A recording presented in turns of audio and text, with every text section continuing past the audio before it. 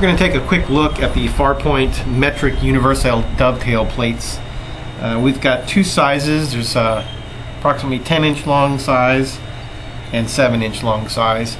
And they have hole patterns drilled at 65 millimeters apart, hole spacing, several along each bar. Uh, they're made primarily for the Asian made clamshell uh, ring, tube rings. William Optics uh, led the way. These are actually William Optics rings, and uh, everyone cloned them. So they've got a hole pattern on here that is 65 millimeters wide. So each bar comes with a set of screws, and they assemble just like so. We'll go ahead and actually have uh, metric M6 low head screws that come with the bar. So we'll take and screw that on like so.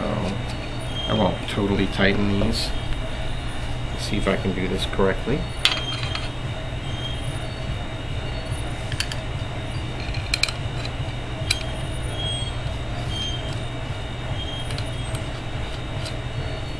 So it'll attach just like that. And then you've got a setup for your clamshell rings that uses the D-size dovetail or commonly referred to as Losmandy size. And those are those.